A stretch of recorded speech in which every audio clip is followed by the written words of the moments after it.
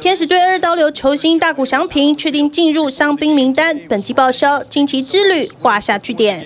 At around four, he had an MRI, wanted to see his oblique. Um, you know, still saw some irritation in that area. You know, small irritation in that area. So talked to the doctors and, and decided to shut it down for the season. 大谷因为右手肘韧带撕裂，需要手术，不论是重建或是修复，恢复期短要九到十个月，长则至少一年。但外界关心大谷置物柜突然被清空，质疑不被受尊重。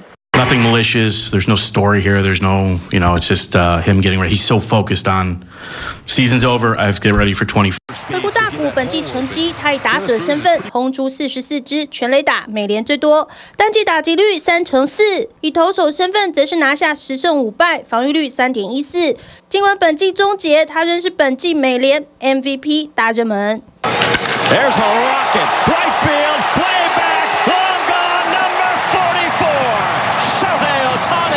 二刀流胜一刀流，天使总管乐观表示，希望大谷能够续留天使。